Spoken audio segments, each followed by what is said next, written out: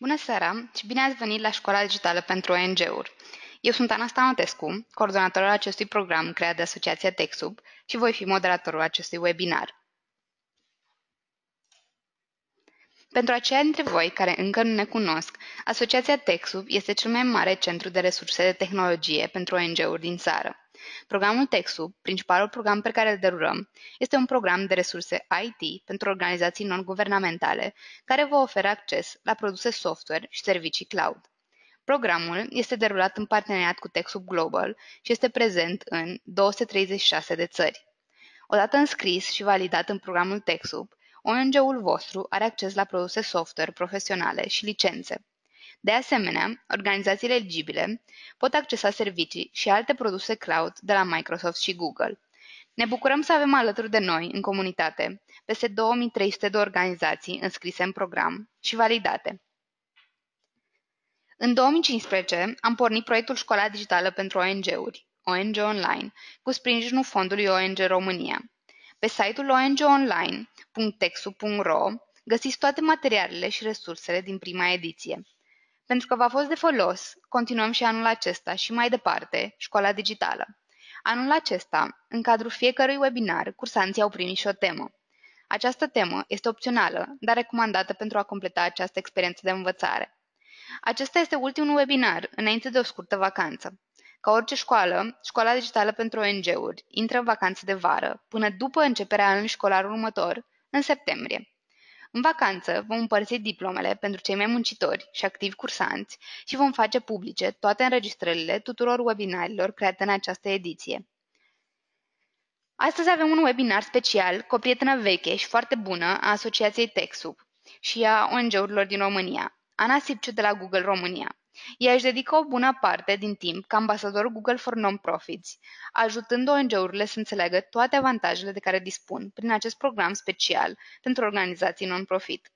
Ana ne va povesti astăzi despre G Suite for Non-Profits, inclus în programul Google for Non-Profits, prin care organizațiile înscrise în programul TechSub și eligibile au acces la această suită de productivitate, care include Gmail, spațiu de stocare în cloud, documente Google, Google Calendar și multe altele. Înainte să începem, câteva precizări de natură tehnică.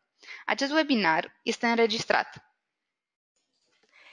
Pentru cei care nu ați mai participat la un webinar, un webinar este o prezentare online în care puteți adresa întrebări pe parcurs sau după. Puteți adresa întrebările voastre pe chat din dreapta ecranului, iar noi le vom citi pentru ca ele să rămână înregistrate. Microfoanele voastre sunt oprite pentru a nu, pentru a nu crea zgomete pentru registrare. Ana, când vrei, poți începe.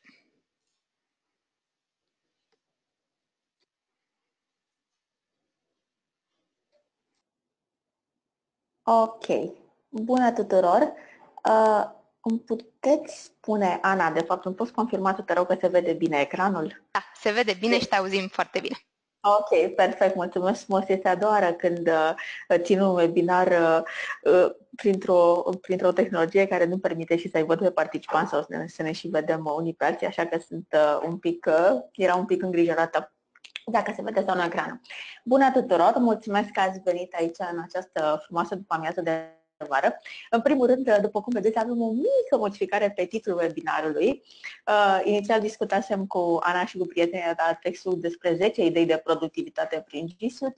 Lucrând la prezentare și având în vedere că astea sunt printre produsele mele preferate și mă bucur mult că am ocazia să vorbesc despre ele, până la, până la urmă am ajuns la 21 de mici idei. Nu vă speriați, nu, niciuna nu este o mega idee revoluționară, ci sunt doar mici trucuri care ne pot ajuta să ne îmbunătățim productivitatea activitatea de zi cu zi. Asta a fost și ideea prezentării și um, uh, asta am discutat cu partenerii și de la TechSoup să vă arătăm niște tips and tricks foarte simplu, ușor de folosit, care nu ne vor schimba viața radical, însă puțin câte puțin ne vor ajuta să salvăm, uh, să salvăm uh, mai mult timp și să fim mai eficienți în ceea ce facem.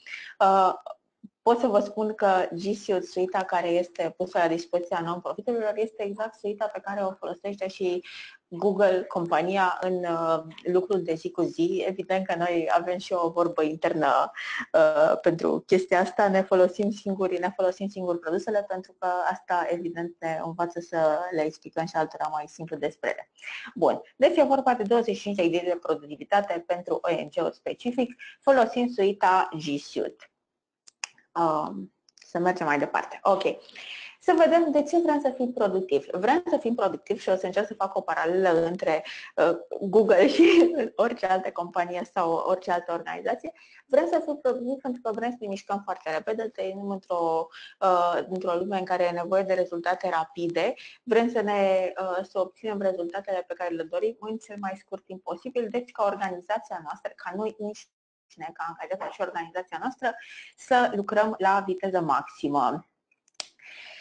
Ce ne împiedică să ajungem la viteza maximă? Și cred că puteți să vă dați seama dacă vă uitați la diferența dintre cele două imagini, imaginea în stânga și imaginea din dreapta. În imaginea în stânga avem o embarcațiune bine dotată, cu o pânză foarte mare, cu o echipă de oameni, cu niște oameni uh, uh, pe ea, care însă așteaptă să fie împinși de vânt sau cel mult unul dintre ei face niște eforturi să împingă embarcațiunea mai departe, nu sunt coordonați.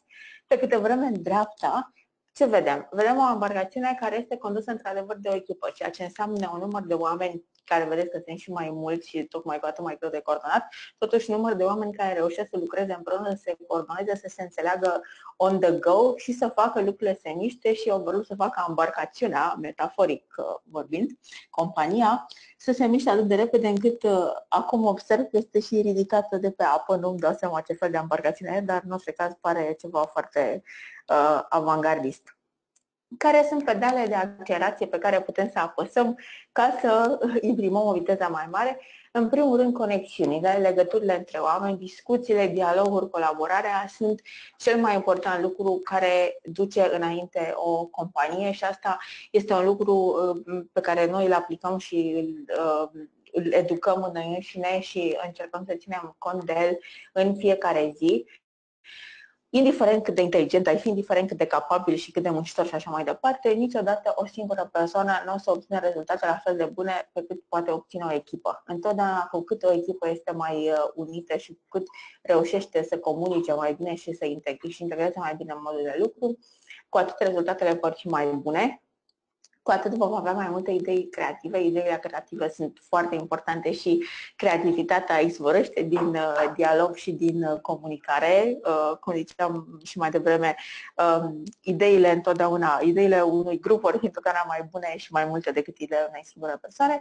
Împreună aceste lucruri pot duce la viteză și la rezultatele pe care, la rezultatele pe care ni le dorim. Unde intervine uh, GSUS? Ce este GSUS în primul rând? GSUS pentru organizații non-profit, după cum vedeți, este o suită integrată de productivitate care conține unelte pentru comunicare și colaborare online și pentru stocarea informației în cloud. Acest punct online este foarte important pentru că G Suite este o suită care uh, este accesibilă în cloud, este accesibilă direct în browser, nu trebuie să instalați nimic special pe calculator. Practic, oricine are un calculator la, uh, conectat la internet cu un browser instalat, uh, instalat pe el, poate accesa toate aceste, toate aceste tool pe care le vedeți mai jos. Este bine de știut că asta înseamnă că ele sunt disponibile și pe telefonul mobil, iar e foarte important să te dă timpul în mișcare, nu întotdeauna asta în fața calculatorului este important să putem să avem aceleași uh, facilități și aceleași uh, posibilități de a edita, de a trimite un document și așa mai departe, chiar și de pe smartphone, indiferent unde ar fi. Și este bine de știut că uh, putem să lucrăm și offline. G Suite uh, are opțiuni în, uh, în Gmail, în Google Docs și așa mai departe, care ne permit să edităm, să edităm offline, după care documentele se vor uh, auto-refresh, se, se vor autosalva în momentul în care uh, calculatorul este din nou conectat sau documentul în sine, în cazul în care edităm pe telefon, este din nou conectat la internet.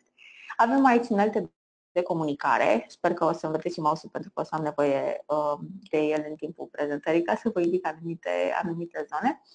Avem unelte de comunicare Gmail, Google Hangout, calendar, Google Plus pentru cine folosește și mai departe, uh, stocare prin Google Drive, colaborare prin Google Docs și zona de administrare care este rezervată administratorilor um, G Suite, administratorilor organizației, cei care au dreptul de admin asupra contului G Suite. Bun. Să începem cu primul loc uh, pe care îl accesăm în momentul în care în momentul în care avem un cont uh, nou. Asta este și prima pagină pe care am accesat-o eu în uh, momentul în care uh, mi-am schimbat uh, jobul și am ajuns aici la Google. Bineînțeles, contul de Gmail, vrei să intri în mail, să vezi că, uh, că e acolo și că este disponibil. Fereastra Gmail mm, nu cred că este o noutate pentru multă lume, pentru că foarte mulți dintre noi foloseau și, și eu foloseam deja uh, Gmail uh, pe post de cont personal. Când am ajuns în, însă aici și am început să-l folosesc mult mai intensiv, să primesc un număr mult mai mare de mail-uri, am început să învăț și câteva tips and tricks de productivitate pe Gmail. Um, nu știu cum este la voi, dar pentru mine cel cel mai mare este administrarea numărului de mail-uri primite, uh, follow-up, uh, follow-up-ul și anume să știu exact ce mail-uri aparțin de orice discuție, să-mi fie ușor să găsesc informații din urmă, să mă descurc pur și simplu într-o mare de uh, 10 sute de, 10 sute de mail-uri pe care le am în inbox. Și pentru asta, uh, Gmail ne oferă aceste lucruri foarte interesante numite etichete, nu știu dacă le folosiți. Sunt niște labels, niște etichete pe care le putem uh, aplica oricărui, uh, oricărui e-mail în parte. Um, un e-mail poate avea mai multe etichete. O etichetă nu înseamnă că mutăm mail-ul din inbox în altă căsuță, înseamnă pur și simplu că îi aplicăm un tag. De exemplu, puteți vedea aici că un anumite mail-uri au aplicate Uh, tagul de turism, pentru că, să zicem, astea sunt niște taguri la întâmplare pe care am încercat să le uh, aplic ca exemplu, pentru că, să zicem, uh, se ocupă, uh, țin de un proiect pe care lucrez din domeniul turismului și așa să-mi fie mai ușor să, mai ușor să uh, revin și să găsesc exact mail-urile care se referă la subiect de discuție.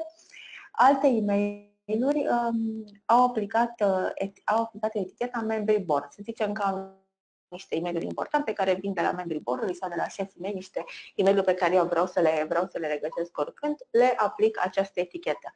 Anumite e mail însă au legă, sunt de la membrii board dar au legătură și cu proiectul meu de turism. În consecință au două etichete și așa îmi este mult mai simplu să filtrez în momentul în care o să am nevoie să mă întorc la informații, mi este mult mai simplu să filtrez și să văd din prima doar mesajele care, de care am nevoie. Dacă mă duc, veți vedea că atunci când creați o etichetă etichetă. Eticheta se creează foarte simplu, intrați pe mail-ul deschid, deschideți un mail, nu am acest exemplu în prezentare, dar pot să vă spun, puteți să deschideți un mail și să uh, vă duceți, uh, vă duceți zona deasupra lui, unde veți vedea că aveți uh, opțiunea de a aplica etichete sau de a crea o etichetă nouă. După ce eticheta este creată, veți vedea că apare și în uh, zona din stânga, sub uh, căsuțele de inbox și vă veți putea duce în zona, vă veți putea duce în zona aceasta ca să vedeți doar mesajele cu eticheta respectivă. Ce mai avem aici? Mai avem ceva foarte simplu, steluțe, care niciodată nu mi s-au părut de utilitate maximă când foloseam uh, Gmail-ul uh, doar uh, pe post de cont personal, însă uh, la ora actuală le folosesc pentru a urmări lucrurile foarte urgente, tudurile foarte urgente și importante. De exemplu, îmi marchez cu steluțe mesajele de care nu vreau să mă ocup în clipa asta, dar vreau să mă ocup mâine și mâine dimineață la prima oră, primele mesaje la care să mă uit o să fie cele marcate cu steluța, care odată rezolvate își pierd steluța și revin niște mesaje normale, rămân marcate doar cu etichetele lor dacă este cazul. Dacă vreau să mă uit, uh, să mă uit dimineața doar la mesajele pe care le am ca top priority, intru în această căsuță, a, uh, căsuță de sub inbox, unde voi vedea doar mesajele marcate cu steluță și în felul ăsta nu sunt aglomerate, uh, ecranul meu nu este aglomerat de mesaje mai puțin importante și mă pot concentra doar pe lucrurile cele mai și cele mai importante. Bun. Tot în Gmail. Gmail-ul este una dintre ferestrele pe care uh, eu le-am deschise în continuu și presupun că majoritatea celor care lucrează într-o, uh, într-o companie în care comunică foarte mult pe mail uh, au această fereastră de mail deschisă aproape în continuu. Tot în Gmail avem zona asta de Hangout. Um, Hangout-ul probabil că poate că vă este cunoscut mai mult uh, pentru abilitățile de comunicare video, însă el este și un uh, messenger foarte, foarte simplu. În momentul în care toată lumea din companie are instalat, uh, are, în care compania a trecut la G Suite și toată lumea are adresele de, are adresele de mail și conturile, conturile oficiale de utilizator prin G Suite, veți putea căuta aici orice coleg și odată, odată găsit îi puteți trimite repede un mesaj, un link, o întrebare, orice răspuns uh, orice o comunicare scurtă la care aveți nevoie de răspuns uh, foarte rapid sau de aici puteți să inițiați și uh, videocall-uri și alte tipuri de alte tipuri de conferințe, puteți trimite un mesaj unui grup de colegi avea un, și avea un chat în grup. Este un sistem de messenger clasic, foarte, foarte simplu, însă îl aveți la dispoziție exact aici în fereastra de Gmail și vă ajută foarte mult în momentul în care aveți nevoie de informații noi pentru mail-uri. Um, ceea ce mă, mă vă mai sătuiesc este să vă setați o semnătură. Semnătura se poate seta din settings. Aici aveți găsit butonul de settings pentru Gmail. Semnătura este, bineînțeles, foarte utilă pentru ca lumea să aibă datele voastre de contact în fiecare mail, să aibă adresa, numărul de telefon și funcția, rolul pe care îl aveți, pe care îl aveți în organizație. Bun. O altă zonă asupra care voiam să vă atrag atenția, asta este pagina de settings. Când mergem în setări, ni se deschide această pagină unde avem mai multe taburi, setările generale, etichetele de care ziceam mai devreme, conturile, filtrele pe care le folosim pe mail nu sunt uh, neapărat uh, niște noutăți, avem, uh, um, vă sunt probabil familiare dacă folosiți, cu multe organizații folosesc și eu foloseam înainte produsele Microsoft, sunt destul de, destul de similare ca funcționalitate. Um, ce voiam să vă atrag atenția aici era asupra acestei zone numite Labs. În zona Labs apar tot felul de mici funcționalități Gmail Uh, care se testează, care încep prin a fi testate, vor funcționa o perioadă și e posibil să intre în, uh, să intre în funcționalitățile clasice mari și să nu mai trebuiască activate, însă deocamdată puteți căuta în uh, Labs aceste mici funcționalități care trebuie activate separat.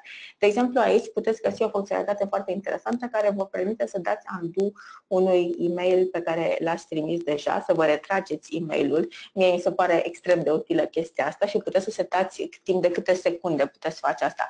Uh, timp de maxim 10 secunde sau 15 secunde sau cred că 30 de secunde este maximul, nu sunt 100% sigură, dar 20 sau 30 de secunde este maximul de uh, intervalul de timp în care puteți să dați repede undo după ce ați trimis un mail. Nu știu dacă vouă vi s-a întâmplat, dar mie mi s-a întâmplat de multe ori să scriu un mail și din grabă să dau send în mijlocul unei fraze înainte să trimit mesajul efectiv sau să dau send fără să atașez cel mai important lucru pe care trebuia să-l trimit sau, mă rog, înainte să-l revizuiesc uh, pentru, nu știu, corectitudine gramaticală sau, uh, sau alte um, sau alte uh, corecții pe care aș vrea să le fac, aveți posibilitatea, activând în Labs uh, feature-ul de, uh, feature de undo, să retrageți mail-ul în câteva secunde. Însă feature-ul pe care vreau să vi-l mai arăt este acest anumit răspunsuri predefinite, care din punctul meu de vedere ar fi uh, foarte util pentru un, uh, pentru un IT. Răspunsurile predefinite sunt un fel de template-uri nu fac nu sunt template sunt niște răspunsuri întregi. E o, o zonă întreagă de uh, o zonă întreagă de răspuns se numesc în canned responses. Aici aveți un screenshot din adevăratul meu inbox, celălalt, era, celălalt uh, Gmail este un uh, inbox de test pe care îl uh, făcut în special pentru prezentarea asta, dar aici am încercat să am putut să aveți și adevăratul meu inbox ca să vedeți cum arată cu foarte multe mesaje, cu foarte multe mesaje necitite. Um, nu, nu sunt foarte mândră de chestia asta. În momentul în care avem un mail, scriem un mail care va, pe care îl trimite de multe ori, de exemplu, Mm, pentru ONG-uri să zicem că aveți uh, pe site un formular de, uh, pe care oamenii îl pot completa ca să devină voluntari. Um, ok, de fiecare dată când cineva vrea să devină voluntar, eu vă trimite vă un mail prin formular de pe site sau un mail direct și primește automat același răspuns. Probabil că, e un, probabil că sunt mai multe informații despre zonele în care poate deveni voluntar, voluntar poate sunt uh, mai multe întrebări, în fine, probabil că este un text tip pe care toți voluntarii îl primesc Uh, toți viitorii voluntari îl primesc în momentul în care aplică. Pentru asta, pentru că nu este un mailing, este pur și simplu același text care e trimis în diverse zile, în diverse ore și așa mai departe, uh, același oameni, se poate uh, se poate instala acest Canned Responses. După ce, după ce intrați în settings și activați această opțiune, veți avea, mă rog, uh, textul ăsta este în, uh, meniul ăsta este în engleză, dar în română avem răspunsuri predefinite. În momentul în care deschideți de la Compose un mail nou și el vi se deschide așa, și de aici, de la această săgeată, veți apăsa pentru mai multe opțiuni, veți avea aici zona răspunsuri predefinite. Răspunsurile predefinite uh, care se pot uh, insera sau se pot salva. Eu, de exemplu, acum am scris, uh, am scris un mail, presupun că e prima dată când răspund la o solicitare de voluntariat, îi răspund cu titlu clasic răspuns solicitare voluntariat, mulțumim pentru solicitarea ta, iată mai multe detalii pot să adaug, să inserez de aici răspunsul sau pot să scriu un text nou și să salvez drept un nou răspuns predefinit. Deci pot să am oricâte răspunsuri predefinite pe care după aceea le pot folosi de fiecare dată când am nevoie să trimit aceleași informații, nu mai am nevoie să rescriu textul de la zero, nu mai am nevoie să am un document separat pe care să-l deschid, să dau copy-paste, cu doar două clicuri răspunsul este mai mult sau mai puțin rezolvat. Dacă răspunsul de obicei diferă în lucruri foarte mici, de exemplu dacă răspunsul începe cu numele omului. Dacă vrei să-i spui dragă X, dragă Dan, dragă Ana și așa mai departe, puteți ca în canned response, în, în răspunsul predefinit, să scrieți foarte mare și bolduit zona care trebuie modificată pentru că atunci când, pentru că atunci când aplicați răspunsul predefinit să nu uitați că trebuie să modificați acele anumite zone. Este o parte foarte um, este extrem de utilă din punctul meu de vedere și salvează mult timp rescria mesajelor. Ce puteți să mai vedeți aici este și cum arată de fapt uh, uh, Hangout-ul. Vedeți că îi vedeți pe ultimii colegi cu care am stat de vorbă sau ultima colegă care mi-a trimis un mesaj. Ce e bine este că putem oricând să oprim notificările. Nu știu dacă vi s-au întâmplat mie, s-au mai întâmplat în tinerețile mele um, momente ușor jenante în prezentări în care ai o prezentare pe, în care ai o prezentare pe ecran și în mijlocul prezentării te trezești, când toată lumea se uită bineînțeles la ecranul tău, te trezești cu o notificare din partea mamei sau prietenului și așa mai departe, lucruri pe care nu vrei uh, neapărat să le vadă toți oamenii importanți care te ascultă. Uh, Hangout îți permite ca, deși uh, ești în continuare online, nu trebuie neapărat să sign out, doar să, doar să oprești notificările pentru o perioadă predefinită de timp. Bun. Trecând mai departe, una, o altă zonă foarte utilă din punctul meu de vedere și pot să vă spun cum o folosim noi intern este zona de grupuri. Um, grupurile sunt mai mult decât uh, o listă de adrese de e-mail. Poate aveți, uh, poate folosiți deja grupuri în sensul că aveți liste salvate de adrese de e-mail, să zicem liste salvate de uh, grupul bordului, grupul voluntarilor, grupul oamenilor din financiar, din organizație și așa mai departe, grupul celor care lucrează doar part-time și așa mai departe și aveți undeva salvate aceste liste de mail și dacă vreți să le, dacă vreți să comunicați cu ei, pur și simplu luați uh, listele și le copiați în tuș, trimiteți mail-uri către, nu știu, 20, 30, 50 de oameni. Um, folosind Gisius, puteți să formați grupuri pe categorii. De exemplu, puteți să faceți un grup de voluntari care va avea, uh, asta este important, va avea o adresă de, o adresă de e-mail dedicată. De exemplu, um, Aici am numit-o ca exemplu Awesome România, cred că așa denumisem eu organizația mea, uh, uh, organizația mea de test, voluntari Awesome România. Ei, în momentul în care uh, avem acest grup cu această adresă de e-mail atașată, oricine vrea să se adreseze întregului grup, um, poate să scrie doar aceste adrese de e-mail și toți, uh, toți cei care sunt înscriși în grup vor primi adresa. Deci eu nu trebuie să știu neapărat toate adresele de mail ale acestora. Pot să vă dau ca exemplu. Noi, uh, noi de exemplu, intern avem foarte Eu personal sunt în uh, grupul de Industry Manager de Retail pentru că lucrez pe zona de retail, grupul Industry Manager de Travel pentru că lucrez pe zona de travel, grupul ambasadorilor Google for Non-Profits. În toate aceste grupuri sunt sute, dacă nu mii mii de oameni, cred că totuși nu mii, dar s-ar putea. În fine, extrem de mulți oameni din întreaga companie, vă dați seama, Google are angajați în toate țările, pe toate fusele orare. Evident că nimeni nu are nicăieri o listă cu toate aceste de mail, însă um, Dacă vrei să te adresezi tuturor oamenilor specializați într-o zonă, vei scrie către această adresă. Eu, de exemplu, dacă am o întrebare la care poate ar putea să mă ajute un coleg din retail, eu n-am găsit niciun răspuns și aș vrea ajutor de la cineva din, de la cineva care are aceste competențe, scriu la adresa grupului și atunci toți colegii mei care sunt înscriși în acest grup primesc mail-ul și cei care mă pot și ajuta o să îmi și răspundă, toată lumea este fericită. Conversațiile nu rămân doar pe e-mail, rămân și în pe Google Groups ca un fel de forumuri și sunt extrem de ușor de urmărit și sunt extrem de ușor de găsit când ai nevoie iar de informații din urmă. Dacă vrei să vezi ce s-a discutat pe același subiect acum un an sau dacă vrei să vezi dacă s-a mai discutat vreodată pe un anumit subiect, poți să te duci oricând în grupuri și să faci, și să faci căutarea pe subiectul, pe subiectul respectiv. Este foarte util din punctul meu de vedere, mai ales când ai nevoie să administrezi mulți oameni care, sunt, care nu se cunosc neapărat toți între ei și care nu sunt situați în același birou, sunt situați, cum vă spuneam, în diverse orașe, în diverse birouri sau, uh, sau în, diverse, în diverse țări. Um, și uh, e interesant că poți să folosești în grup, poți să, uh, poți să folosești grupul și ca să postezi un anunț, nu numai să începi o discuție, poți să postezi un anunț legat de categoria respectivă și anunțul va avea un loc special uh, mai, uh, mai, bine, mai bine conturat pe forumurile de grup. Bun.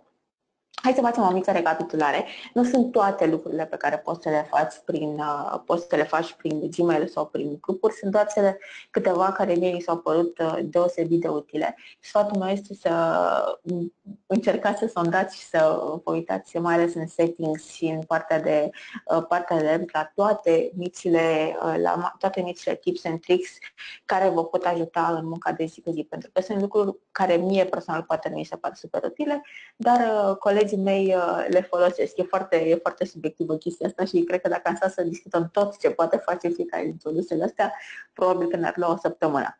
Însă, recapitulăm puțin ce am vorbit până acum, ce putem face prin Gmail și Groups.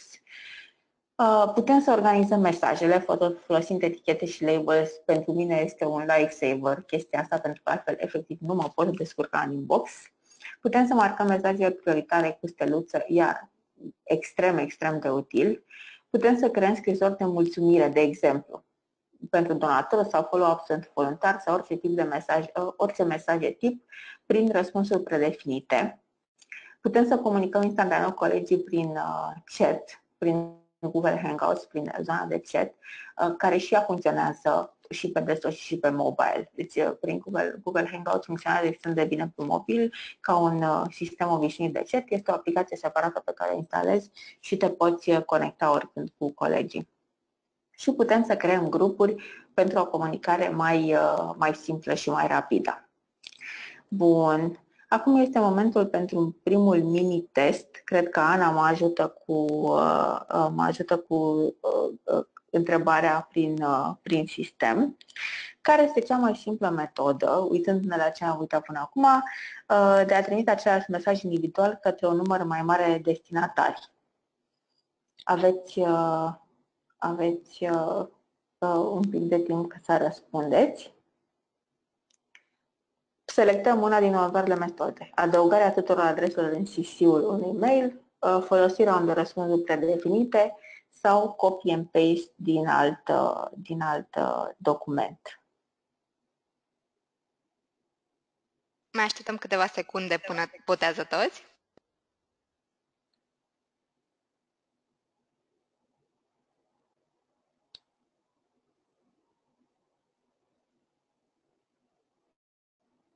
Ok. Bun. Răspunsul corect este, bineînțeles, răspunsul predefinite. Ca notă separată pot să vă spun niciodată să adăugați toate adresele în CC, never ever, dacă aveți prin absurd nevoie să trimiteți și chiar și în mail voastre personale uh, să trimiteți un mesaj către mai mulți destinatari care nu se cunosc între ei și nu trebuie neapărat să vadă, blind CC este the way to go, chiar și, um, chiar și intern. Bun. Să trecem mai departe. Am ajuns la Cred că produsul meu preferat, Google Calendar, dacă mi-ar da cineva toate, uh, toate celelalte produse și m-ar lăsa să aleg un singur element din, Google, din uh, uh G Suite, cred că Google Calendar ar fi cel mai important. Nu mai văd viața fără el, nu cred că nici nu aș ști unde trebuie să ajung în fiecare zi sau ce trebuie să fac dacă n-aș avea Google Calendar. Bun, Asta este pagina clasică de calendar Google. Nu știu dacă vă este uh, foarte familiară sau dacă l-ați folosit până acum. Eu personal nu prea îl foloseam înainte să, uh, înainte să ajung aici pentru că nu aveam discuții decât pe domeniul personal și, mă rog, în viața mea personală pe vremea nu trebuie să folosesc un calendar. Era o viață mai simplă. Ok, asta este pagina clasică la care, uh, la care putem să vedem câteva chestii. De exemplu, aici sus putem să vedem la ce săptămână mă Din aceste butoane putem să mergem înainte sau înapoi în săptămâni la click pe butonul ăsta mergem exact în ziua în care, în ziua în care suntem. Vizualizarea, așa cum o am eu aici și așa cum o folosesc eu de obicei, este pe șapte zile, uh, zilele de lucru, de lucru, dar și weekend, începând de lunea.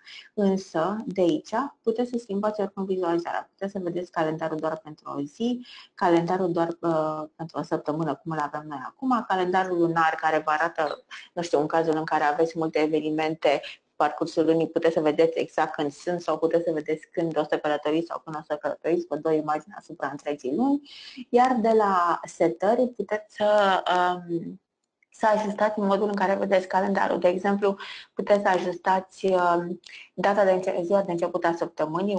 Unii oameni preferă să înceapă ca săptămâna să înceapă duminica. Puteți să ajustați orele care apar în calendar. Puteți să faceți în așa fel încât să nu vă apară decât orele de lucru, să nu vă apară și orele de noapte, pentru că de obicei uh, alea nu sunt, uh, nu sunt programate, sunt niște ore personale pe care nu avem evenimente și așa mai departe. Iar vă încurajez să intrați în alte opțiuni și, opțiuni și, și în zona de LED de la calendar. Bun.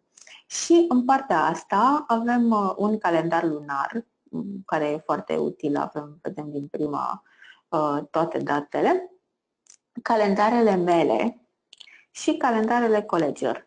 Aici e un pic uh, sărăcuț din cauza că în organizația mea de test nu există, evident, alți colegi, n-am angajat alți colegi în organizația de test, Așa că deocamdată văd doar calendarul meu și aici ar trebui să mai apară în mod normal în, în calendarul meu de, uh, de birou din compania, mi apar numele colegilor și cu un click pe, un click pe acest uh, mic uh, buton pot să văd automat și calendarele lor. Dar hai să vedem, hai să vedem um, ce avem aici. Avem mai multe feluri de evenimente. Evenimentele acestea recurente, care se întâmplă în fiecare zi, pe care eu le setez să se întâmple în fiecare zi, Uh, evenimente uh, separate, așa setate separate, să trecem imediat prin setarea unui eveniment um, și evenimente private. Vedeți că diferența între aceste evenimente și evenimentul acesta, care este un eveniment personal sâmbătă, este acest mic lafet care înseamnă că e eveniment privat. Ce înseamnă asta? Înseamnă că um, atunci când administratorul o permite, o să vă spun că cum avem noi calendarele setate și în general asta mi se pare o setare foarte bună pentru orice companie. Calendarele sunt transparente, în sensul că eu pot oricând să deschid calendarul unei colege sau nu știu, al șefei mele sau al oricărui, oricărui, oricărui coleg uh, din lume care mă interesează, să văd, dacă, să văd ce program are, practic, să văd dacă este, de obicei mă uit să văd dacă este liber, mă uit să văd dacă este sau nu este în concediu în ziua în care aș vrea să întâlnesc, mă uit să văd care ar fi intervalul cel mai potrivit în care aș putea să-mi pun o întâlnire cu el. E o modalitate foarte simplă de a stabili întâlniri. Noi lucrăm extrem de mult pe partea asta de întâlniri prin uh, și live și prin Hangout și dacă, sincer, dacă ar trebui să stăm de fiecare dată să îl întrebăm pe X sau Y când ai timp să ne vedem și el să-și deschidă calendarul, să avem o discuție de 5 minute de fiecare dată dată ca să stabilim o întâlnire, probabil că jumătate din ei s-ar pierde numai cu asta. Pe mine personal mă enervează groaznic să, mă, să fiu întrebată când vrei să punem întâlnirea X, când este extrem de simplu pentru oricine să uite în calendar și să vadă când am timp liber.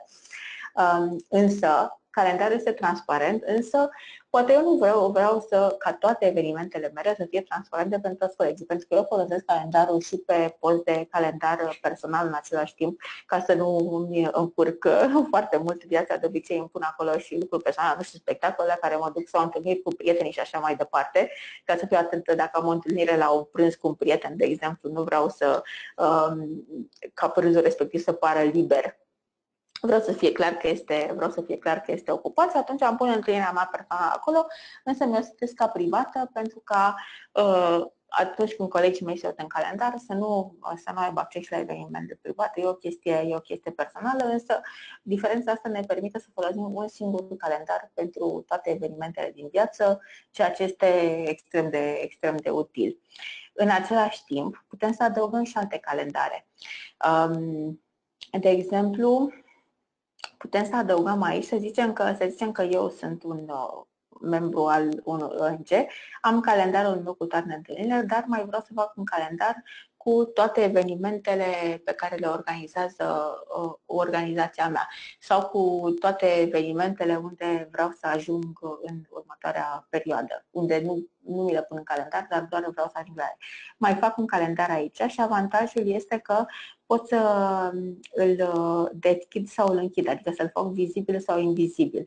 Dacă aș avea, gândiți-vă că dacă organizația mea ar avea câte trei evenimente de voluntariat pe zi, dau un exemplu care este un pic absurd, calendarul meu ar fi foarte aglomerat și poate n-aș vrea să le văd tot timpul. Ca să fac invizibil doar evenimentele acelea de voluntariat, apăs aici, uh, dau aici click și calendarul acela toggle on and off, adică devine vizibil sau invizibil. Bun. Hai să vedem cum se setează un, cum se setează un eveniment în calendar, ceea ce uh, eu fac tot timpul. Este, cred că skill meu principal este să setez evenimente în calendar, să trimit mail Bun, deschid, uh, deschid, un, uh, deschid un nou eveniment, de aici creez un eveniment. Am un titlu al evenimentului care, evident, trebuie să fie evident pentru uh, toți cei participanți, data. Am uitat să vă spun că și modul în care data este vizualizată poate fi, evident, modificat din uh, settings de la, din settings de la uh, setările de mare al calendarului, orele și veți vedea că în settings uh, poți să setezi uh, durata recomandată a unei întâlniri. De exemplu, la intern, noi avem întotdeauna durata recomandată a întâlnirii ori de 20 sau 25 de minute. O întâlnire, de exemplu, nu este setată automat la jumătate de oră, este setată automat la 25 de minute. Sau în loc să fie uh, o întâlnire de oră, în loc să fie setată la 60 de minute, este setată la 50 de minute ca să fim mai eficienți, să ne permită și mici pauze, mici pauze între întâlniri. Bun. Deci durata pe care o dorim noi și fusul orar, pentru că uneori se întâmplă, uh, probabil că se întâmplă și în organizații internaționale, dar nu se întâmplă de multe ori, să trebuie să punem întâlniri cu colegi care sunt pe alte fusuri orare și atunci uh, am vrea să știm uh, la ce oră, la ce fus orar ne uităm ca să nu, le, ca să nu punem întâlnirea la niște ore nepotrivite. Este posibil să pun întâlnire pentru toată ziua și atunci am va ține toată ziua ocupată. De exemplu, dacă am un eveniment la care o să particip 8 ore pe zi, toată ziua și nu o să mai fiu disponibilă deloc, vreau să-mi blochez întreaga zi. Și este posibil să, uh, ca întâlnirea să vreau să fie recurentă. Cum, uh, cum ați văzut în slide anterior, aceste, astea nu sunt, uh, aceste evenimente nu au fost setate ca trei întâlniri, deci n-am stat de trei ori să pun status zilnic, status zilnic, mai ales în condițiile în care vreau să fie chiar în fiecare zi și am pus o întâlnire recurentă care se repetă în fiecare zi a săptămânii de la ora 10. Am pus posibilitatea să pun întâlniri recurente pentru anumite zile ale săptămânii, pentru anumite zile ale lunii, ori să zicem pe fiecare dată de 10 a lunii sau în fiecare miercuri, uh, în fiecare primă miercuri a lunii, dau un exemplu. O să vedeți în momentul în care uh, apăsați pe repetați, o să aveți mai multe opțiuni de, mai multe opțiuni de recurență. Detaliile evenimentului, aici când dați click, um, o să vedeți că vi se deschid, dacă începeți să scrieți, uh, dacă începeți să scrieți un loc, o să vi se deschidă locul respectiv din Google Maps. De exemplu, dacă este un, uh, nu știu, o activitate de o activitate care are loc într-un parc, dacă începeți să scrieți numele parcului, o să vi se deschidă automat, o să vi se deschidă automat uh, par, uh, linkul către parc din Google Maps și asta înseamnă că atunci când oamenii primesc invitația, dacă vor să vadă exact pe Google Maps unde este locația, trebuie doar să dea click pe locație și să vadă unde trebuie să ajungă la întâlnirea sau la evenimentul respectiv. Automat fiecare întâlnire are și are atașat și acest apel video. Apelul video se referă, se referă de fapt la un Google Hangout. În momentul în care, în uh, momentul în care întâlnirea nu este o întâlnire live, este o întâlnire virtuală prin Google Hangout, eu nu trebuie decât să dau click pe acest link, vedeți că este albastru și este un link video, și voi ajunge în pagina în care mă pot conecta în Hangout-ul uh, respectiv ca să vorbesc cu persoana respectivă. By default, numele Hangout-ului este o combinație între numele participanților pe care vă recomand să-l schimbați. De obicei, dacă nu uit, îl schimb în ceva mai, în ceva mai relevant. Sau puteți să-l ștergeți complet dacă nu există un, dacă nu există un motiv să existe. Dacă este o întâlnire live și nu este neapărat un, și nu este un hangout, nu are neapărat un motiv să existe și un link către, um, către hangout video. Bun, calendarul pe care trebuie să îl punem pe întâlnire, întâlnirea asta este dată pe calendarul meu, calendarul Ana Sipciu.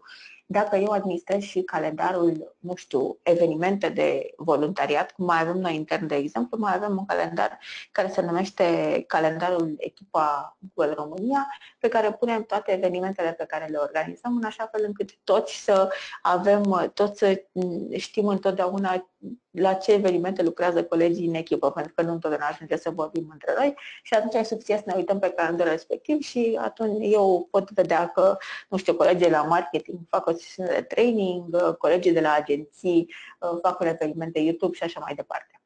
Bun. Exact asta pot, puteți uh, face și voi când diverse departamente ale organizației uh, vor organiza diverse alte tipuri de evenimente. Tot aici putem să adăugăm un atașament. Un atașament uh, poate fi un link către un document din uh, Google Drive. De exemplu, uh, dacă avem o întâlnire în care vom discuta un proiect, organizarea unui eveniment, îmi pare rău că m-am setat pe chestii asta de mine așa mi se întâmplă în training când mă setez pe un exemplu, pe acela rămân. Să zicem că ne întâlnim cu mai mulți colegi din diverse echipe ca să organizăm un eveniment aici putem adăuga un link către fișierul, către Gantt chart pe care lucrăm pe evenimentul respectiv, fișierul de resurse, în așa fel încât în momentul în care ajungem uh, să discutăm, nu e nevoie să mai pierdem 5 minute să căutăm, stai să deschid documentul, unde este, dăm link și așa mai departe. Toată lumea are uh, linkul cu to atașat și îl deschidem direct cum vă ziceam, nu sunt niște chestii extrem de, poate unii dintre voi se gândesc acum, acum chiar nu putem să căutăm un link.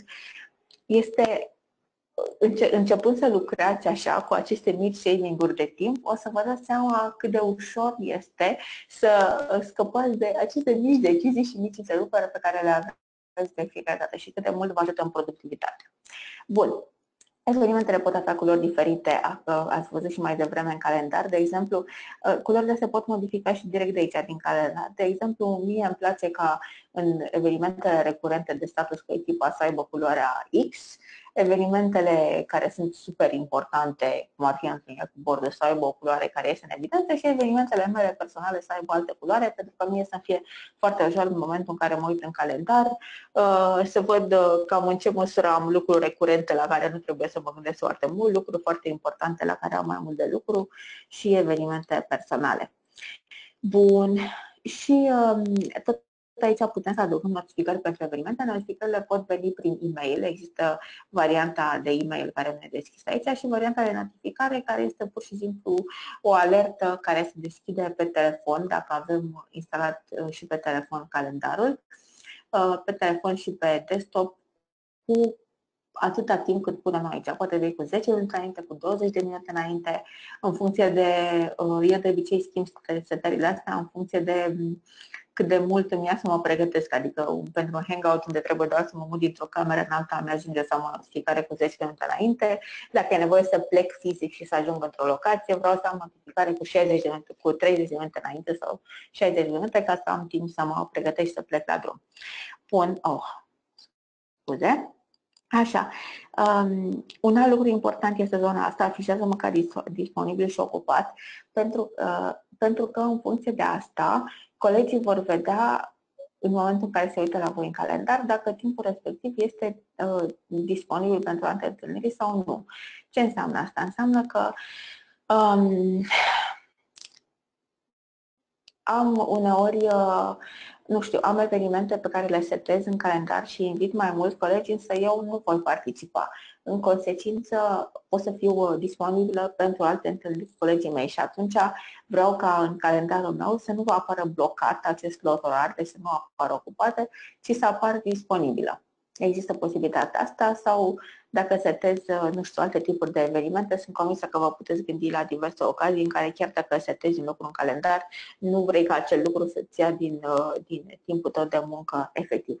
Și aici intervine și zona de public și private, care ziceam mai devreme. Valorile prestabilite ale calendarului sunt valorile pe care le-a setat, uh, pe care le-a setat administratorul uh, companiei, cel care administrează contul de gestiune al companiei. Pentru noi, de exemplu, valoarea prestabilită este ca acest calendar să nu fie public. Calendarul fiecare, bineînțeles că nu poate fi găsită o căutare pe internet și așa mai departe, așa, însă să fie, valoarea prestabilită este să fie vizibil pentru toți cei din aceeași organizație. Asta e valoarea prestabilită la noi și din punct de vedere este cea mai utilă valoare însă eu pot să override această valoare făcând evenimentul, uh, făcând evenimentul privat, deci făcând evenimentul vizibil numai pentru mine și pentru ceilalți uh, invitați la, și pentru ceilalți invitați la eveniment, pentru ca uh, alți colegi să nu vadă. Bun. Avem aici zona de invitați.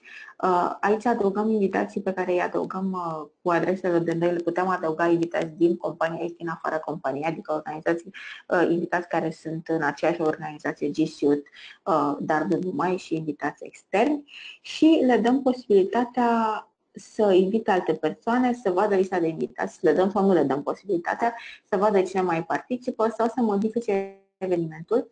Asta în cazul în care vreți să ne lăsăm libertatea să schimbe ora. Eu fac asta, de exemplu, în momentul în care vreau să le permit uh, colegilor mei să modifice, să modifice ora dacă nu le convine ora la care, din un motiv sau altul necunoscut de mine, nu le convine ora la care am pus evenimentul, eu o pot modifica de aici.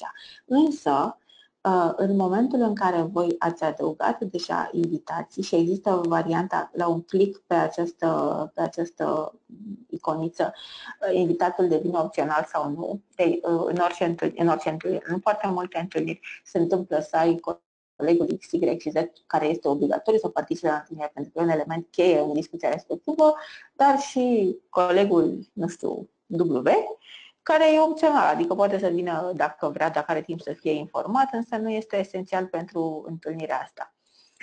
Însă, în momentul în care avem toți invitații, ca să, cea mai bună metodă ca să găsim uh, un slot bun de întâlnire este să dăm click pe, această, pe acest link găsiți o oră și acest link ne va găsi automat intervalul acesta de jumătate de oră, să zicem, de jumătate de oră sau de oră, în funcție de cât l-am setat aici, în care toți participanții să fie disponibili. Și uh, când e vorba de doi participanți, nu e mare lucru să te uiți în calendarul colegului să vezi când este disponibil și când ești și tu disponibil și mai departe. Însă noi avem de multe ori întâlniri la care sunt 10-15 participanți. Este o ar fi un, un chin îngrozitor pe care nu vreau să mi-l imaginez. um, să stau și să găsesc uh, individual cât ora la care să fie și să adun, să uh, computez individual cumva orele și să-mi dau seama când vor fi toți disponibili. Cea mai simplă cale este să-i adaug pe toți aici, după care calendarul îmi va găsi singur o oră uh, potrivită, durează două minute și am rezolvat, uh, și am rezolvat complet problema. Și o altă zonă importantă este zona de săli. Sălile, de fapt, niște resurse. În calendar, uh, în G în orice calendar se pot aloca și resurse de întâlniri. Resursele de întâlniri pot fi săli, cum avem cu toții Uh, stări dedicate special întâlnirilor organizațiilor, însă pentru multe organizații pot fi și chestii mult mai simple, de genul, nu știu, laptopuri sau de genul uh, pointerilor, de genul chestiilor pe care le împrumutăm cu toții care aparțin cumva compania, dar le împrumutăm cu toții atunci când uh, avem nevoie de ele. Și atunci, în momentul în care eu mi-am rezervat o sală și mi-am rezervat un laptop, voi fi 100% sigură că o să l am la dispoziție.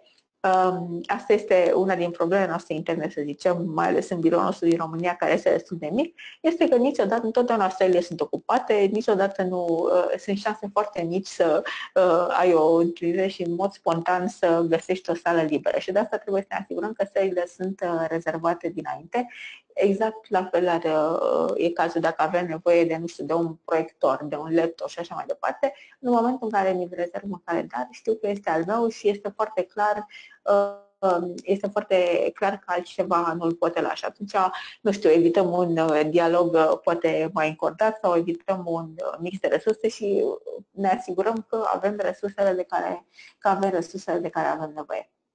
Bun. În momentul în care salvăm evenimentul, după toată chestia asta, a durat foarte mult să vorbesc despre asta, dar în realitate când setezi o întâlnire durează 20 secunde și este cea mai simplă chestie din lume. Uh, calendarul trimite automat uh, invitații tuturor și invitații pot să dea accept sau deny în funcție de, în funcție de disponibilitate și să dea și o explicație dacă este cazul. Însă, um, pe lângă aceste calendare interne pe care le putem folosi în, uh, pe care le putem folosi în organizație, poate se întâmplă să vrem să facem calendare externe publice, în așa fel încât uh, toți cei care ne adresăm, stakeholderii noștri, să vadă um, anumite lucruri legate de activitatea noastră. De exemplu, poate avem nu știu, organizație care face foarte multe um, evenimente de uh, curățare de munți, să zicem, dau iar un exemplu, și uh, vrem ca aceste evenimente să fie disponibile într-un calendar uh, făcut foarte simplu pe website și oamenii să poată veni și să se poată înscrie acolo. Și vrem să nu fie o chestie foarte complicată, adică nu vrem să fie un HTML pe website în așa fel încât să trebuiască să rugăm un programator de fiecare dată când modificăm locația evenimentelor sau când modificăm ora sau când adăugăm un eveniment în plus. Vrem să fie o metodă foarte simplă prin care în 20 secunde să putem updata calendarul de evenimente al organizației. Ei bine, uh, mergem în setări și creăm un calendar nou. Creăm un calendar nou separat, care nu are nicio legătură cu noi ca persoană, este pur și simplu un calendar al organizației. Îi dăm, uh, îi dăm un nume, organizația, așa se numește organizația noastră Demo, Demo Non-Profits, aici va apărea numele organizației voastre o descriere, ca să fie foarte clar despre ce este vorba, unde se vor întâmpla, uh, unde se vor întâmpla evenimentele, care este funcția lor și mai departe și facem acest calendar public. Deci lăsăm, uh, uh, uh, lăsăm, la dispoziția, lăsăm la dispoziția internetului și aici avem două posibilități. Ori să lăsăm oamenii să vadă toate detaliile evenimentului, adică titlul, cine participă, unde participă, tot ce am setat, tot ce am setat mai în ecran mai devreme, pentru că setările evenimentului sunt aceleași, sau putem să vedem doar informație liber ocupat. Um, există, nu știu, dacă avem uh,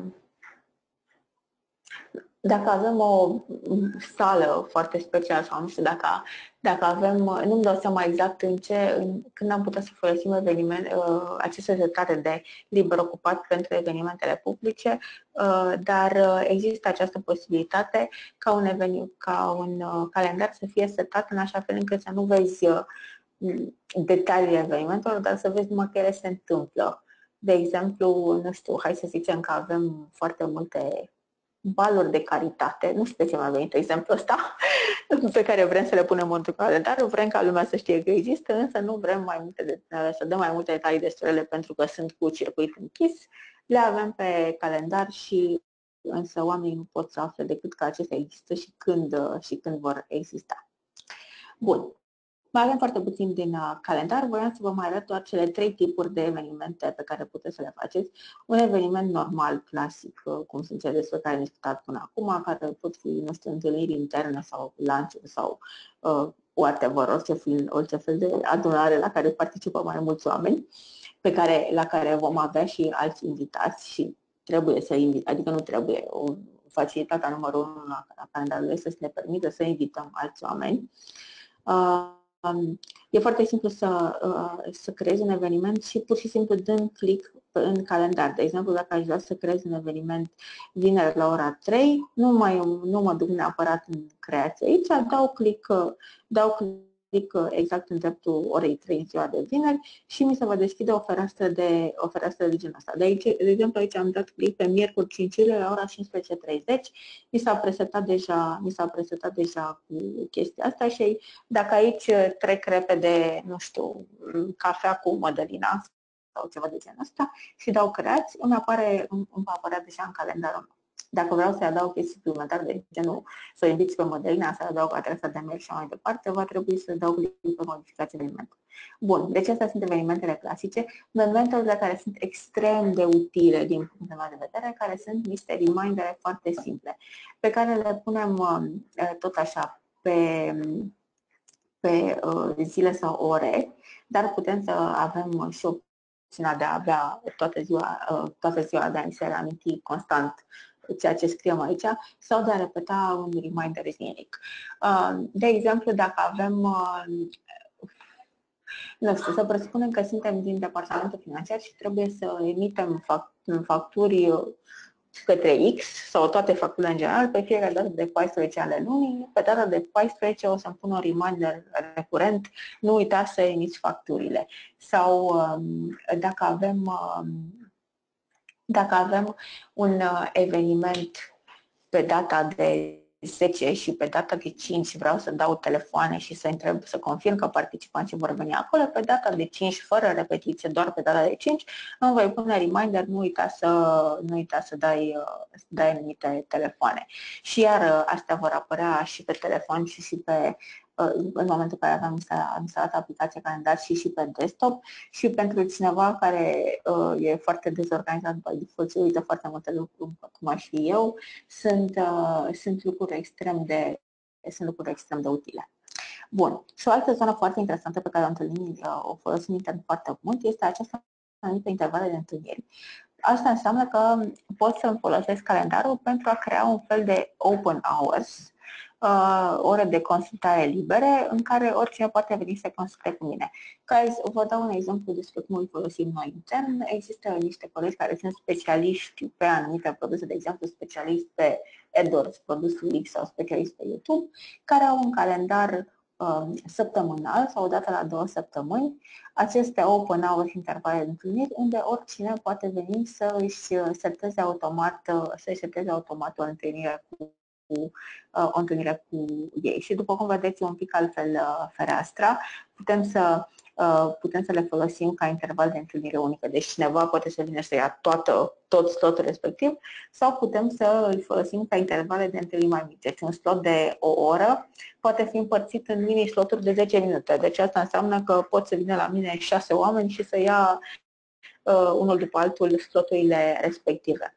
Sunt foarte utile, de exemplu, dacă lucrați într-o organizație mare și aveți nevoie de uh,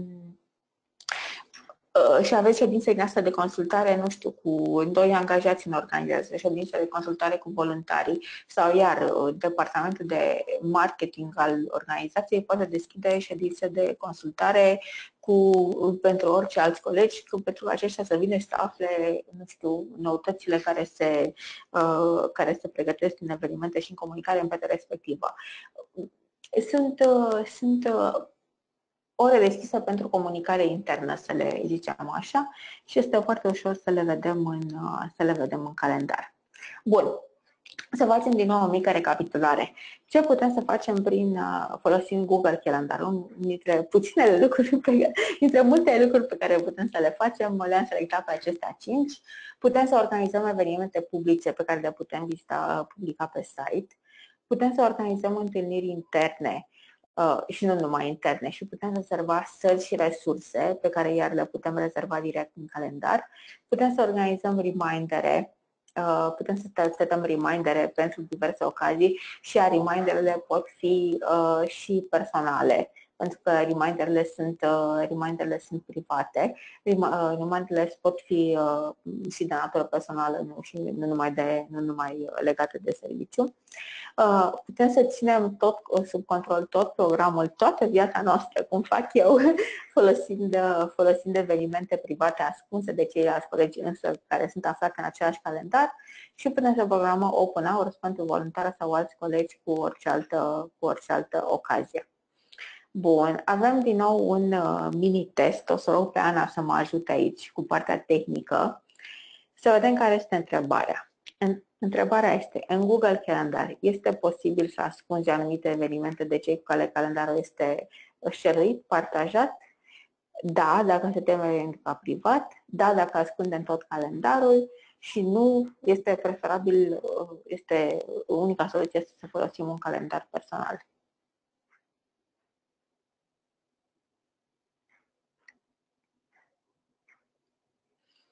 Așteptăm un pic să răspundă toată lumea.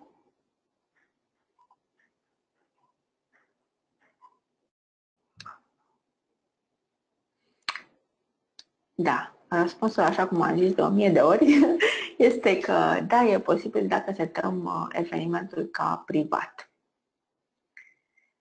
Bun.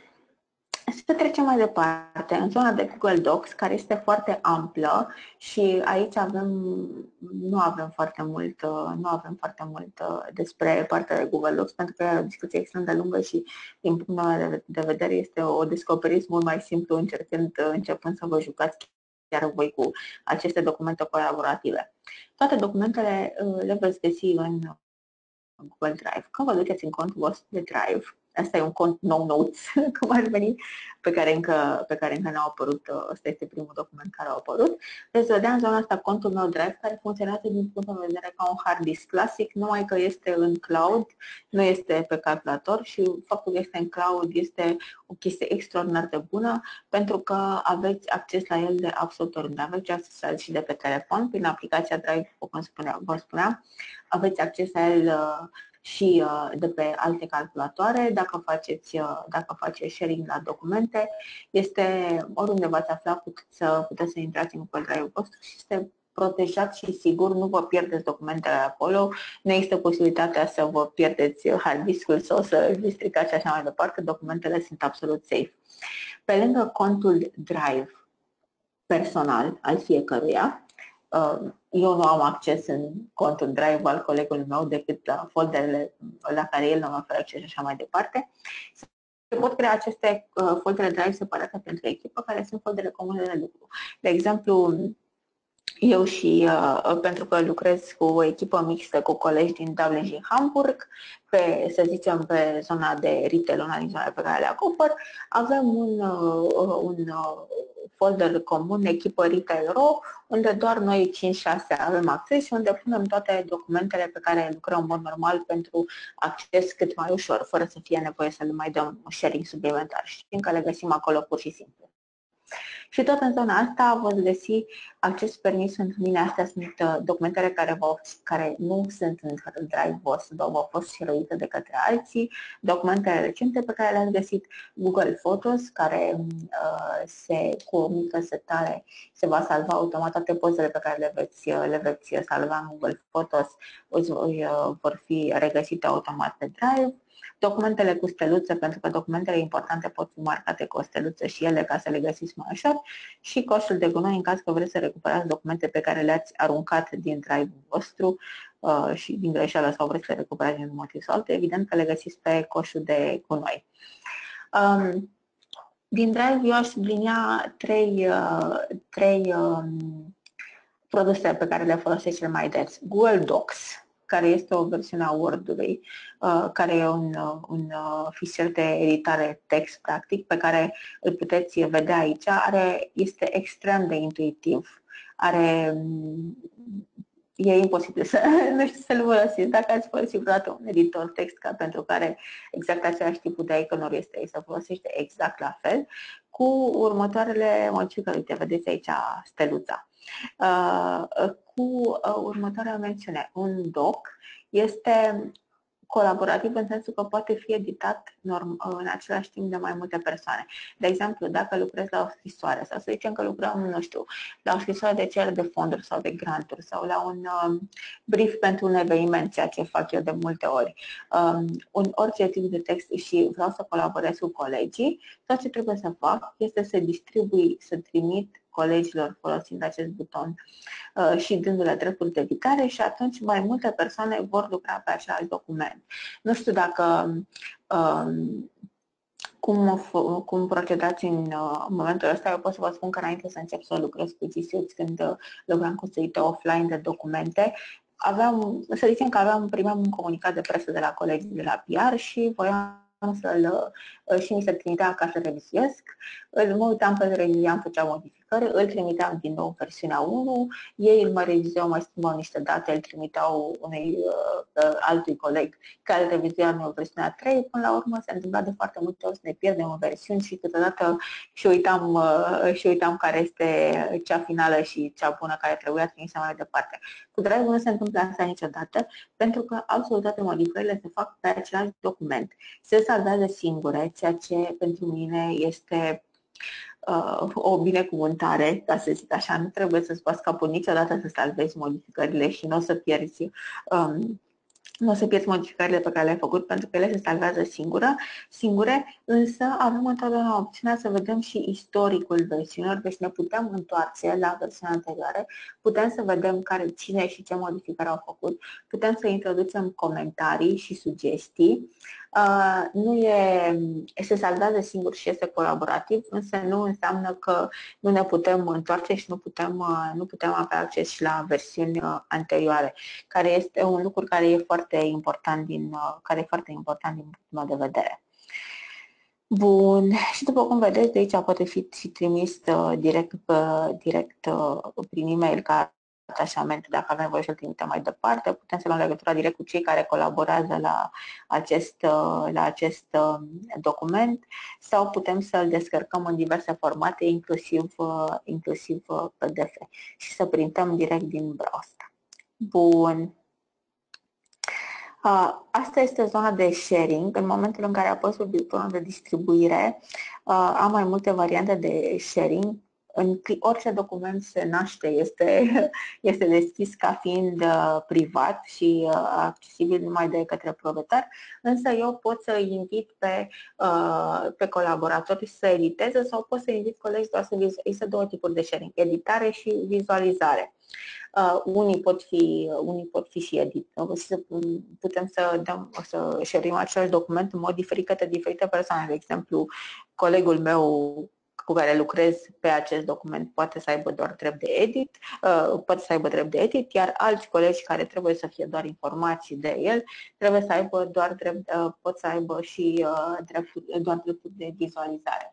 Și um, Pot să vă spun că noi folosim intern extrem de mult, uh, extrem de mult partea asta de docs. Fiecare uh, anunț, fiecare lucru important sau fiecare produs Google este uh, documentat printr-un document Google Docs, dar în cele mai multe cazuri nu avem acces de edit la ele ca să prevenim greșeli din neatenție făcută de colegi se poate întâmpla oricând ca eu să deschid un document făcut de un specialist care vorbește, să zicem, despre, uh, nu știu, despre un anumit format de publicitate pe YouTube. Există un document de 10 pagini făcut de un specialist care, este, care documentează acest format de la A la Z în care sunt date extrem de multe detalii. E un singur document la care au lucrat specialiștii.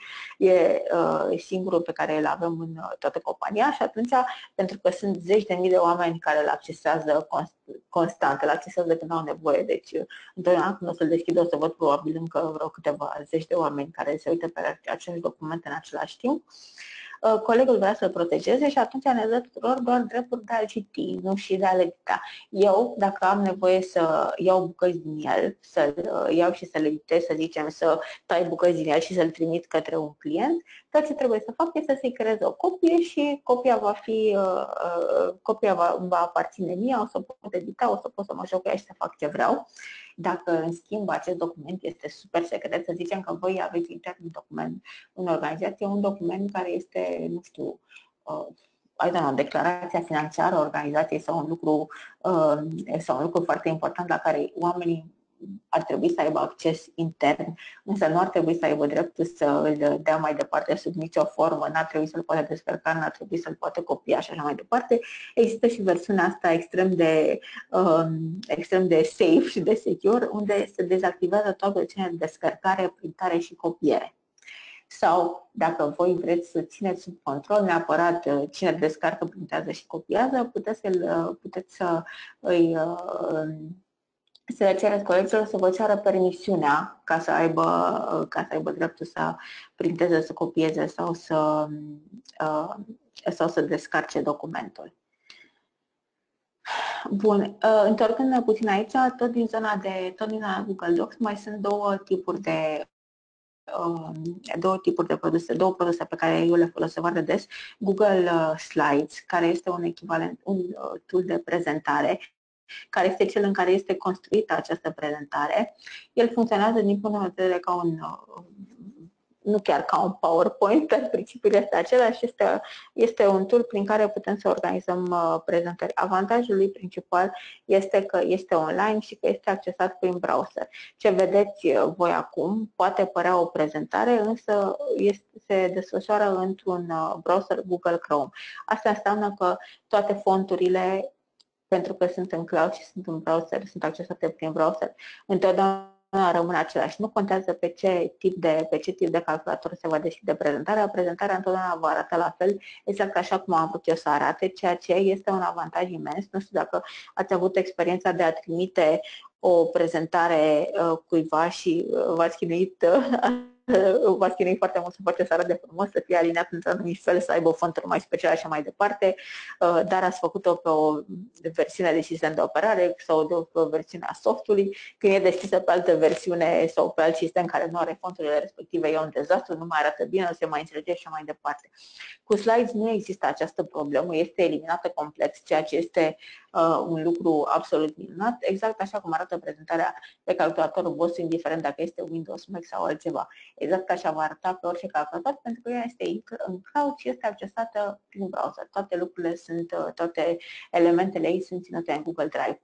Și al treilea um, produs pe care îl folosim este Google Sheets, care este um, cel mai simplu, um, cred că poate fi considerat un fel de echivalent al uh, Excel-ului, um, care o să-l vedem, pe care o să-l vedem puțin în slide-ul următoare, uh, care este extrem de util pentru orice tip de liste de date, orice tip de, uh, nu știu, de, de tracking, de adunări și așa mai departe, um, poate, fi, poate fi folosit și are aceleași facilități. Nu sunt 100% sigură că are toate care absolut toate facilitățile avansate ale Excel-ului, între însă pentru un utilizator mediu spre avansat are absolut tot ce trebuie, formule, pivoți grafice și um, e o modalitate foarte simplă de a lucra, de a lucra cu cifrele.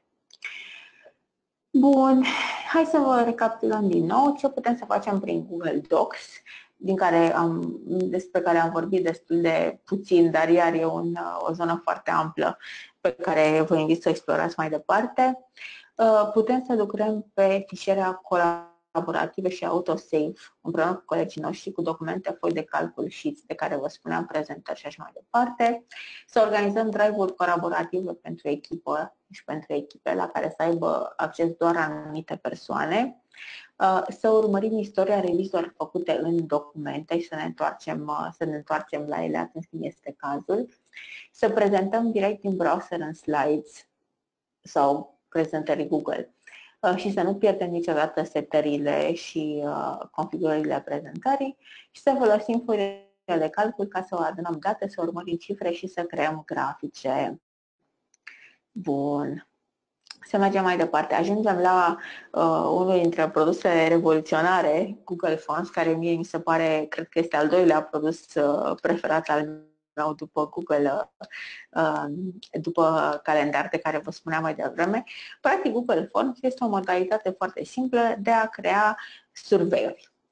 Uh, este atât de simplu și de frumos încât după ce o să-l folosiți, nu știu dacă l-ați folosit până acum, dar după ce o să îl încercați, o să începeți să faceți survey pentru orice, cum am început eu să trimiți survey la familie cu în ce loc v-ar plăcea să ne petrecem vacanța și alte lucruri de genul ăsta.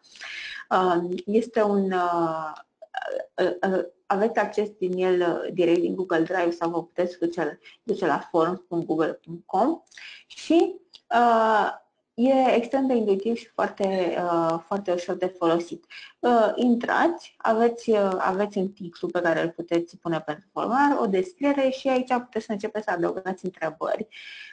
Aveți orice tipuri de întrebări posibile și imposibile și ar fi foarte, este foarte distractiv să vă jucați cu ele Uh, putem să avem întrebări care sunt scurte, întrebări cu paragrafe la care se poate răspunde cu paragrafe mai mulți, întrebări cu răspunsuri multiple, casete de selecție, drop-down și așa mai departe.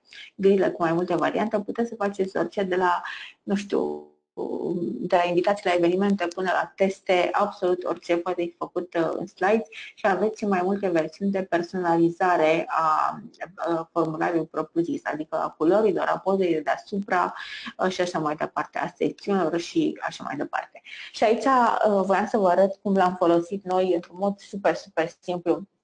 La un moment dat, când am făcut, am făcut o serie serie de webinare pentru magazine online din, uh, de fashion, de haine și modă, unde formularul de înscriere la webinare a fost făcut prin, uh, a fost făcut prin uh, serverul Google. A fost ceva destul de simplu, în sensul că uh, ceream pentru aveam titlul Fashionable Google formular de înscriere, o mică descriere în care explicam, uh, explicam evenimentul și un link către un document, un document în Google Docs, dar public și șeruit, unde puteau să găsească informații despre sesiunile anterioare ale programului și sesiunile și sesiunile viitoare. Aveam acolo agenda unde oamenii care, să zicem, a fost un program mai lung din 10 ședințe, dacă nu mă înșel, uh, cei care aflau despre la ședința 5, de exemplu, se puteau înscrie prin acest formular și puteau să uh, acceseze și uh, linkul acesta, un link scurt Google, ca să găsească și webinarele dinainte și um, prezentările la care, pe care le susținuseră. Cea mai interesantă parte este că odată ce uh, în, survey, în survey și în formulare oamenii încep să completeze, noi putem să mergem și să uh, și avem mai multe opțiuni de răspunsurile lor. În sensul că putem să descărcăm, putem să deschidem răspunsurile în Google Sheets, în Google Drive, putem să descărcăm răspunsurile în format uh, CSV și să le importăm eventual în alte, uh, în alte software sources, să-l putem, îl putem trimite mai departe altor, altor colegi deși ar fi mai simplu să-l șerim de slides. Dar ideea este că avem la dispoziție acest formular și cea mai importantă chestie din punctul meu de vedere este că putem să vedem grafic foarte repede niște răspunsuri. De exemplu, una dintre întrebările pe care noi uh, am pus-o acolo către magazine a fost ce platformă de e-commerce folosiți. Și uh, pe măsură ce se adunau răspunsurile, am putut să avem, vedeți aici, un pie chart foarte drăguț care ne arăta care erau cele mai, uh, uh, cele mai frecvente platforme de e-commerce folosite de, folosite de magazine respective sau care erau cele metodele de plată cele mai des folosite. Dacă avem nevoie să căutăm informații sau să aflăm um, sau să avem niște insight-uri care să ne permită să luăm rapid, să luăm rapid niște decizii, prin survey este cea mai simplă metodă. De exemplu, um, hai să vedem. Hai să, hai să ne imaginăm că avem uh, o organizație care are câteva sute de voluntari în, uh, în, toată, în toată țara și vrem să aflăm din ce orașe sunt aceiași, uh, aceștia. Îi rugăm să completeze un survey și în clipa în care au completat, automat, uh, mergând, mergând pe răspunsuri, vom vedea grafic care este lista celor mai populare orașe. Sau să ne imaginăm că avem o organizație cu mai mulți oameni și vrem să să stabilim uh, data, asta facem și la intern de multe ori, vrem să stabilim data la care am vrea să facem un eveniment. Asta e întotdeauna o problemă la noi să ne aliem cu data. Um, facem un scurt survey în care îi întrebăm pe toți colegii, preferați data de luni, marți sau miercuri. Ei votează și vedem uh, din prima uh, care dată este preferată de, este preferată de cei mai mulți și o alegem, o alegem pe aceea. E extrem de, este extrem de ușor de făcut, foarte simplu și distractiv și poate fi folosit și ca să obținem opinii și informații, dar poate fi folosit, de exemplu, și ca să adunăm invitați la un eveniment. Uh, presupunând că avem, uh, nu știu, iar un eveniment de voluntariat, putem să creăm uh, un, un form prin care voluntarii să se înscrie și toate datele lor vor fi automat salvate într-un spreadsheet Google în care o să le avem la dispoziție în permanență. Noi nu trebuie să facem nimic manual, ei singuri și, ei singuri și cu algoritmul uh, și cu, uh, și cu cloud-ul Google vor face treaba toată treaba pentru noi. Ne trebuie doar seara să venim să vedem câte lume s-au mai înscris și care sunt, uh, um, care sunt datele lor de contact. Bun.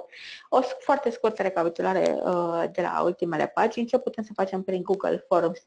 Să creăm survey de orice fel și să primim Uh, răspunsurile într-un format grafic ușor de interpretat, dar și în Google Spreadsheets, să creăm formulare de feedback, iar uh, un alt uh, mod în care folosim uh, acest uh, intern, acest tip de server, este pentru a crea formulare de feedback după traininguri. Am avut, de exemplu, un training săptămâna trecută. Um, după training am trimis tuturor participanților uh, un canned response în care era un link către un, uh, nu, nu era un canned response pentru că le-am trimis în același timp, dar am zis să folosesc uh, ocazia, um, un e-mail în care era un link către un mic uh, survey cu feedback în care i-am, le-am pus câteva întrebări despre conținutul, despre conținutul training despre locație și i-am rugat să ne sugereze îmbunătățiri dacă este cazul, iar în momentul în care au completau survey-ul și apăsau pe ultimul buton de submit, primeam, au primeau un link către Um, descărcarea către uh, linkul către pagina unde, unde puteau să descarce și prezentarea efectivă care a fost uh, la care a fost la uh, training. Exact asta, ceva de acest gen puteți să faceți voi, să, de exemplu, dacă ați avut, uh, uh, nu știu, un uh, eveniment de voluntariat, îmi pare rău că din nou folosesc acest exemplu, dar nu, uh, nu cred că am foarte multe imaginație astăzi și vreți să aflați uh, feedback de la voluntari, le puteți trimite un link foarte simplu cu un survey și la sfârșitul survey-ului automat ei pot primi automat, pentru că voi ați dat asta în timpul survey ei pot primi um, un link către, nu știu, uh, pozele care s-au făcut, uh, care s-au făcut în momentul respectiv. Bun. Deci creăm formulare de feedback și creăm formulare de uh, înscriere și să descărcăm, prin care putem să descărcăm să urmărim tehnicile în Google Sheets. Și avem și ultimul mini-test de astăzi, cu ajutorul cărui produs din Google Sheets pot face mai rapid Vai ce târziu s-a făcut, nu mi-am dat seama că e atât de târziu. Cu ce procent din voluntari organizați eu folosesc în București? Îi întreb prin Gmail, um, îi rog să completeze adresa în doc sau fac un formular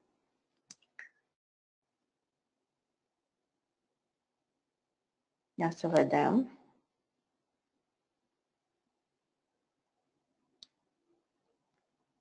Da. Evident, cel mai simplu, cea mai simplă metodă de a afla orice de la oricine este Google Forms. Mai am foarte puține mențiuni pe care aș vrea să le fac și nu o să trec foarte mult prin ele. În Google Sheets există uh, și Google Sites, care este un sistem foarte simplu și intuitiv, după cum vedeți, de a construi niște site-uri foarte basic nu vor fi cele mai frumoase și cele mai grafice și superbe site-uri, însă dacă aveți nevoie, dacă organizația voastră vrea să construiască un site uh, foarte rapid și foarte ușor, um, există Google Sites prin care puteți să faceți asta la fel de ușor cum puteți face o prezentare și puteți să folosiți la site-uri de prezentare externe, dar și la microsite-uri interne de exemplu, nu știu, site-uri cu toate documentele interne de HR sau ceva de genul ăsta. După cum vedeți, e ceva, e ceva foarte simplu, microsite-uri pentru evenimente și așa mai departe. Și Google Hangouts, de care spuneam și mai devreme, care este o metodă foarte simplă, nu numai de a avea un, uh, un chat și un sistem de, un sistem de a lua legătura la timp colecții, ci și de a face uh, Uh, întâlniri live face-to-face prin video. Tot ce vă trebuie este un, uh, uh, tot ce vă trebuie este un calculator care să aibă cameră și microfon. Intrați în hangouts.google.com și deja aveți aici importate din calendar uh, următoarele întâlniri pe care le aveți pe Hangout, dați click pe întâlnirea asta respectivă și vă conectați automat la ea. Sau dacă aveți uh, o altă întâlnire la care ați vrea să vă conectați, îi scrieți aici pur și simplu numele și vă conectați automat la ea. Ce voiam să menționez este că, uh, este că pe lângă întâlnirile interne, uh, prin Hangout puteți organiza și Hangouts on Air, adică traininguri externe la care poate participa oricine și care sunt uh, vizibile pe YouTube. Cred că am făcut și noi uh, anul trecut câteva, câteva webinare seminare de genul ăsta și care vor rămâne după aceea, vor rămâne la și vor putea fi accesate oricând pe, uh, de către oricine are linkuri către canalul de YouTube unde sunt uh, ele puse. Bun. Uh, ultima recapitulare, ce putem să facem prin Google Sites și Google Hangouts, să creăm rapid un site simplu de prezentare, să organizăm o întâlnire video și să organizăm sau să organizăm un seminar public prin Hangouts on Air.